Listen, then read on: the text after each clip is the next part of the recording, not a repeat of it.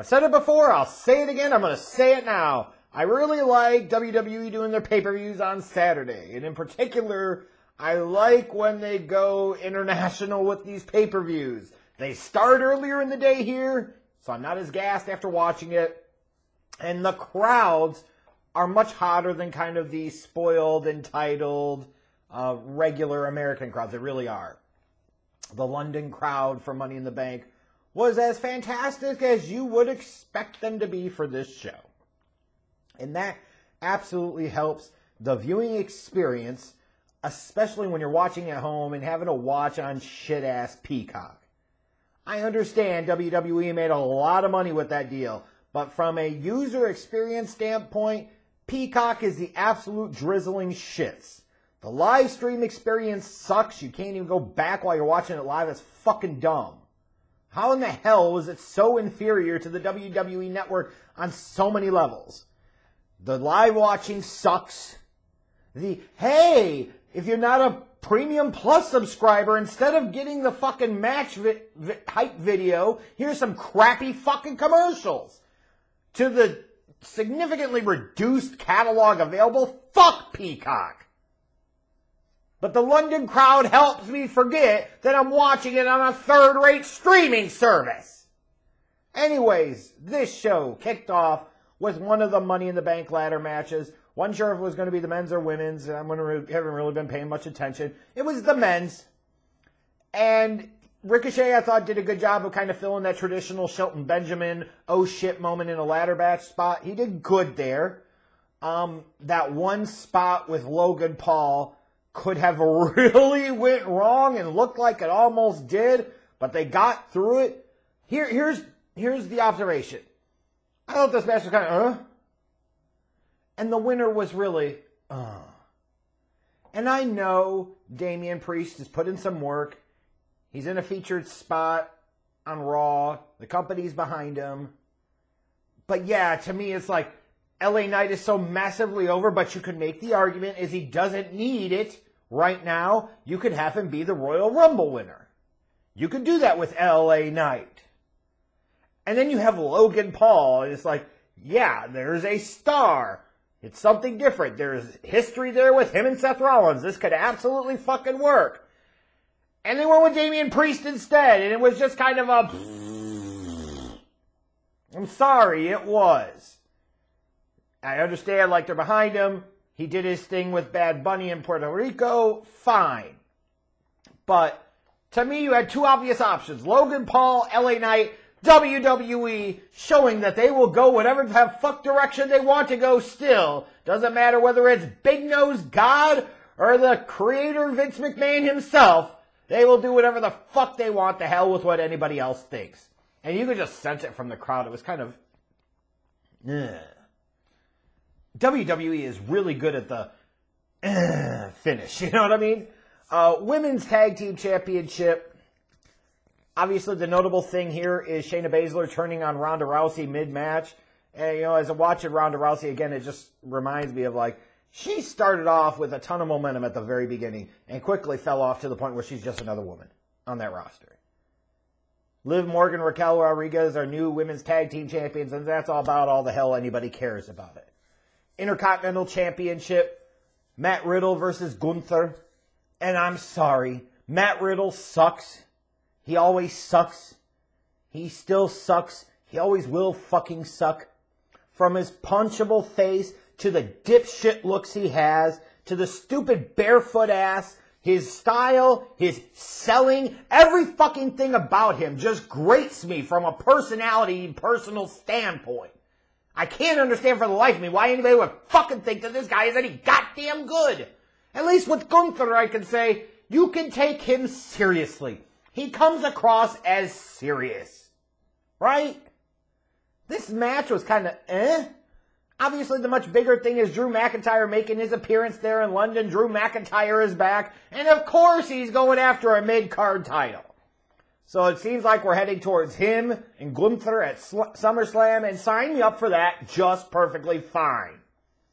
Cody Rhodes should be thankful, number one, that he could beat the Cena allegations at least for one night since he didn't main event. Even though the reports yet started to come out yesterday that that match was going to main event. That would have been a fucking shit show. How stupid would that be? But we should be thankful too he had Dominik Mysterio to carry him in this match. And you're going to say, what the fuck are you talking about? I mean, Dominik Mysterio could actually get some legitimate heat, which is what Cody Rhodes needs for the Cody Rhodes character to kind of work. And it's fascinating to me as I watch Cody Rhodes and his entrance and Seth Rollins and his entrance. One observation I had during this show on Twitter, and it actually worked for me, believe it or not, is how much fans really have dove headfirst in to getting outrageously excited about mid-ass entrance music because the talents are so mid-ass at best. Fans are clearly trying to compensate. The match here was okay. Rhea Ripley looked fantastic. It was solid. Cody Rhodes wins. Not that big of a deal. You did get one real massive surprise on this show, and it was John Cena. Clearly, he hasn't hit the tanning booth. He he got himself into London shape by saying, "Give me the even paler fucking look." But as Grayson Waller comes out and interrupts him, and they have their back and forth, you know, Cena's sitting there trying to talk about WrestleMania in London, and maybe they're going to do WrestleMania 41 in London. I don't know. To me, I wish it would be 40 because you got to say America can't handle it. The real reason Cena should have appeared was to issue the challenge right here, right now to Randall Keith Orton.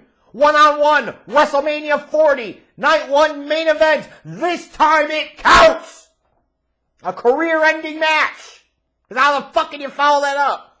But as I watched Grayson Waller come out, combined with the fact that Austin Theory once again wasn't on the pay per view, I sat there and I was thinking to myself, Grayson Waller is what Aust- the company wants Austin Theory to be, specifically Vince.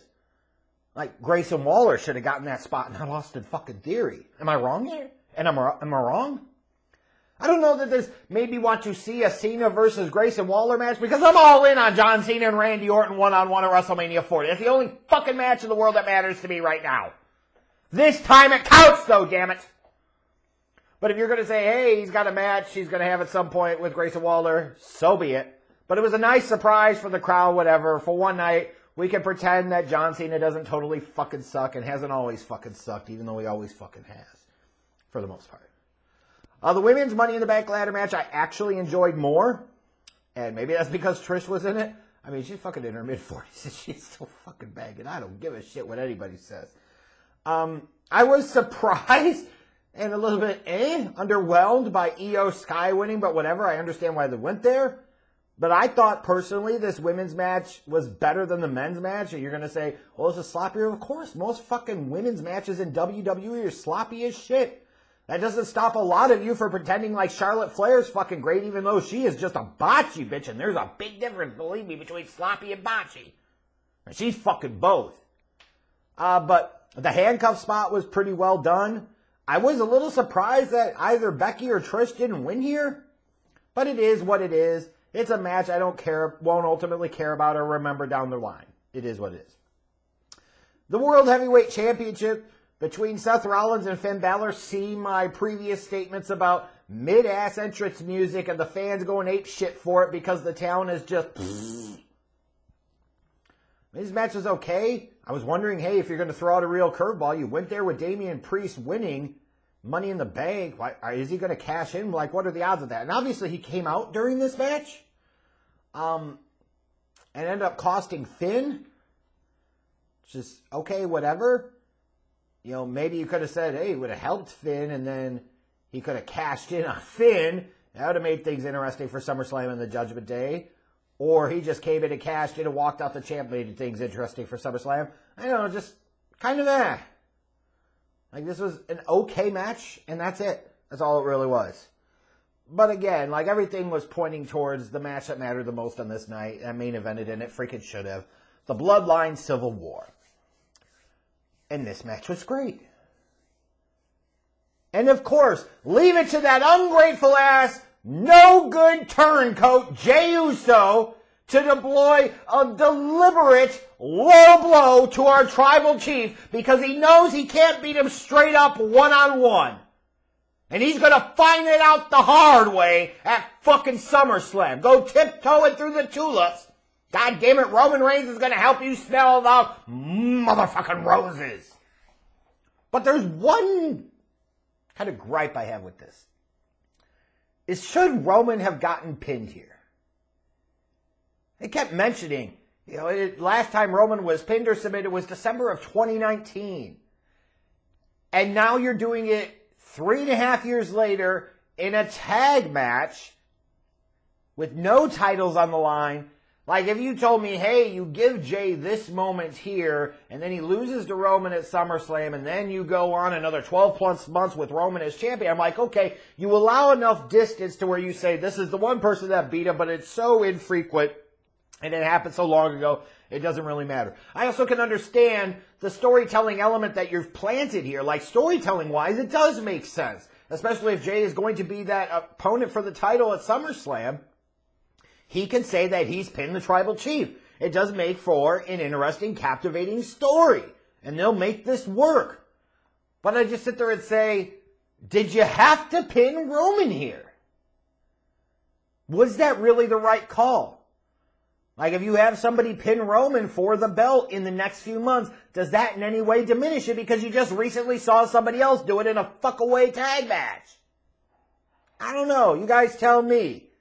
And if you say, yeah, it was stupid, they shouldn't have done it, I agree. If you say, no, what you talked about with the story and how it ties in and how it makes sense, I could also agree. I was just, I was somewhat surprised that they did it, but maybe not entirely. I don't know. Um, but it was a really, really good main event. It really was.